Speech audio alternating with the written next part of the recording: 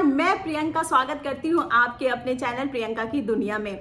मैं निकल रही हूँ अपने नेक्स्ट डेस्टिनेशन की तरफ़, जो कि है औरंगाबाद। और ये काफ़ी टाइम से मेरे बकेट लिस्ट में था, क्योंकि मैं 12 ज्योतिर्लिंग यात्रा कंप्लीट करने वाली हूँ और उनमें से एक ज्योतिर्लिंग जो है औरंगाबाद डिस्ट्रिक्ट में आता है।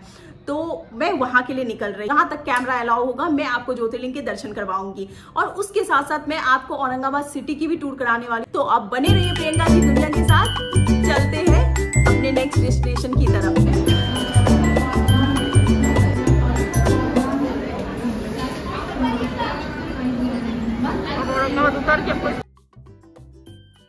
औरंगाबाद पहुँचने का सबसे आसान और सस्ता तरीका इंडियन रेल पे है।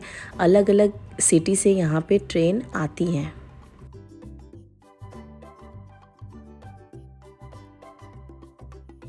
इंडियन रेलवे के अलावा आपके पास बसेस के भी ऑप्शन हैं। यहाँ अलग अलग स्टेट से बसेस आती है। अच्छी कनेक्टिविटी है बसेस की।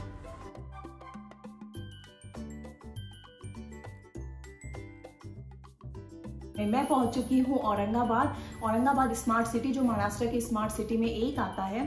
और मैं यहाँ पे आई हूँ ट्वेल्व ज्योतिर्लिंग के दर्शन करने, जो बारवा ज्योतिर्लिंग है। वो यहीं पे है।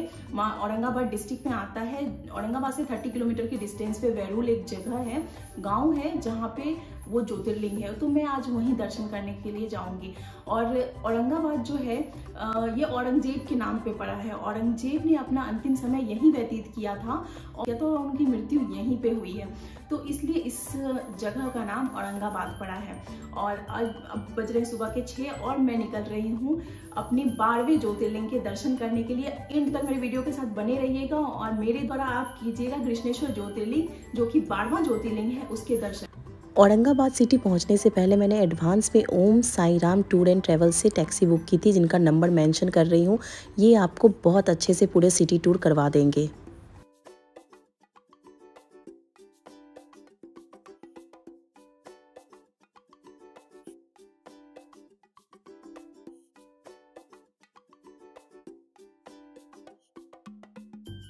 ये कृष्णेश्वर ज्योतिर्लिंग के पास का पार्किंग एरिया है।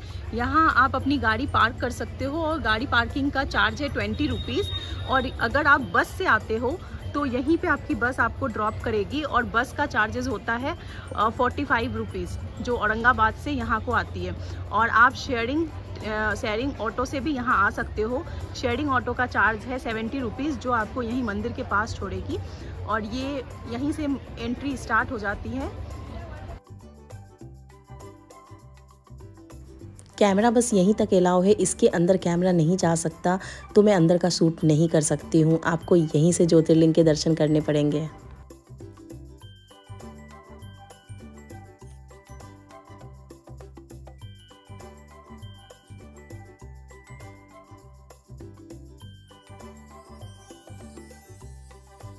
अंदर मोबाइल कैमरा किसी भी तरह का सामान अलाउ नहीं है तो यहाँ लॉकर है। जो कुछ चार्ज करते हैं और आपका सामान रखते हैं। यहाँ मंदिर के बाहर आपको प्रसाद, फूल सब कुछ मिल जाएगा और अंदर सब कुछ अलाउ है तो आप लेके जा सकते हो।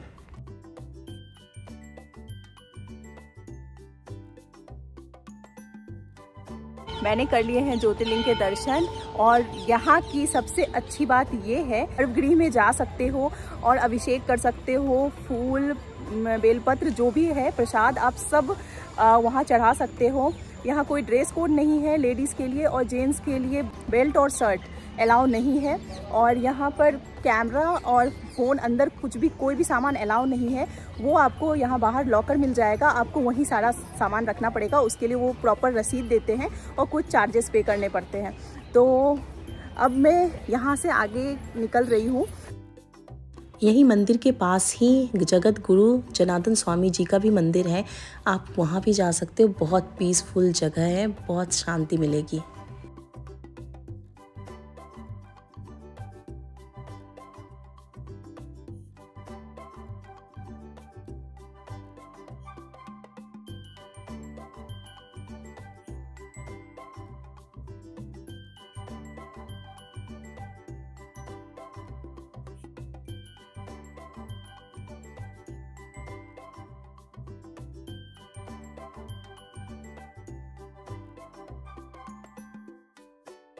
यहाँ मुझे लोगों से पता चला कि जगत गुरु जनार्दन स्वामी जी का आश्रम भी है, जो कि मंदिर के ठीक पीछे है। यहाँ आपको फ्री में रहने की सुविधा मिल जाती है फ्रेश भी हो सकते हो, और अगर आप श्रम दान करना चाहो तो वो भी कर सकते हो।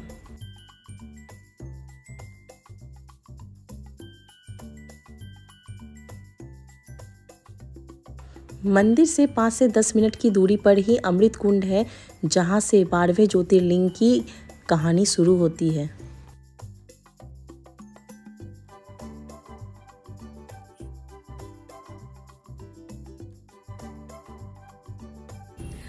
तो आपको मैं कृष्णेश्वर ज्योतिर्लिंग की स्टोरी भी सुना देती हूँ। सुधर्मा और सुदेहा नाम के पति पत्नी थे। दोनों का वैवाहिक जीवन बहुत ही अच्छे से बीत रहा था, लेकिन वो संतान प्राप्ति के सुख से वंचित थे।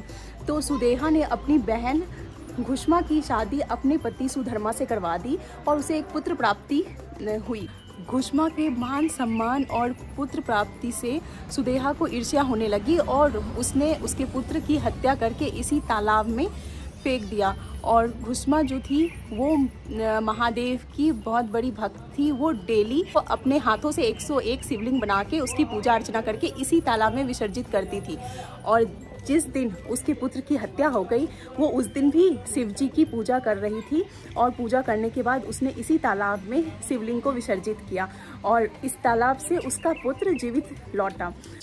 घुष्मा को महादेव जी ने इसी तालाब के पास दर्शन दिए थे तो घुष्मा ने प्रार्थना की थी कि महादेव जी, आप यहीं वैरू है, वो वैरूल के नाम से है, ये यहीं पे स्थापित हो जाइए। तो महादेव जी शिवलिंग का रूप लेकर के वो यहीं वैरूल औरंगाबाद डिस्ट्रिक्ट में जो आता है यहीं स्थापित हो गए और ये बारवा ज्योतिर्लिंग कहलाने लगा।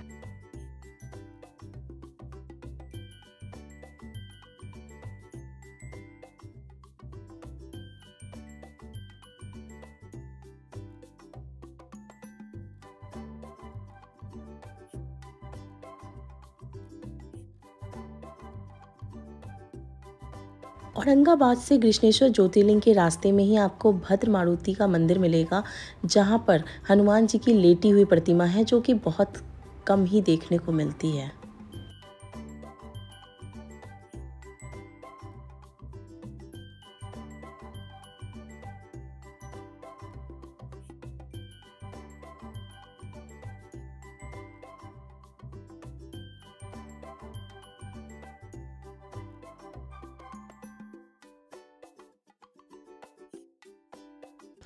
औरंगाबाद से कृष्णेश्वर ज्योतिर्लिंग के रास्ते में ही दौलताबाद फोर्ट भी आता है और यहाँ आपको ज़रूर विज़िट करना चाहिए।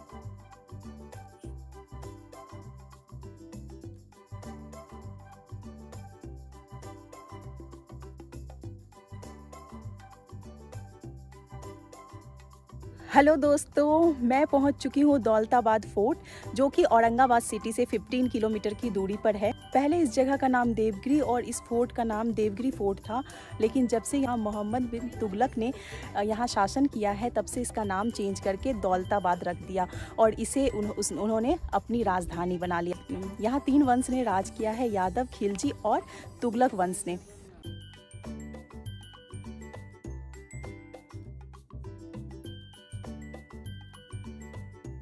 यहाँ 750 सीढ़ियाँ चढ़ के आप यहाँ ऊपर तक जा सकते हो और यहाँ से बहुत खूबसूरत सा व्यू दिखता है सिटी का। आप उसके भी मज़े ले सकते हो। औरंगाबाद सिटी में ही बीवी का मकबरा है और ये औरंगज़ेब ने अपनी वाइफ की याद में बनाया था।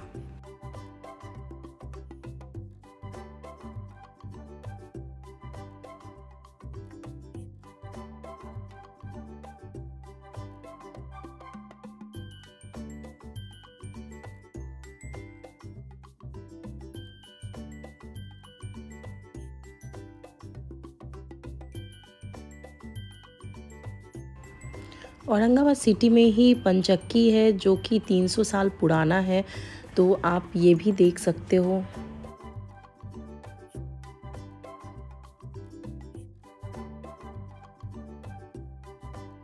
औरंगाबाद अपने अजंता एलोरा की गुफाओं के लिए भी बहुत फ़ेमस है। आपके पास टाइम हो तो आप यहाँ ज़रूर विज़िट करें। मुझे ये मौका नहीं मिल पाया।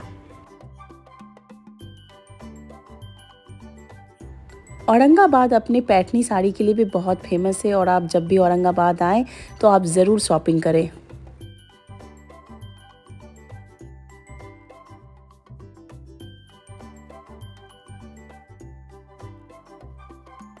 दिन भर घूमने के बाद बात आती है पेट पूजा की तो वो भी बहुत ज़रूरी है। और यहाँ औरंगाबाद सिटी में शाही भोज की थाली बहुत फ़ेमस है। आप जब औरंगाबाद आएँ तो आपको एक बार यहाँ ज़रूर विज़िट करना चाहिए। यहाँ का खाना सच में बहुत अच्छा है।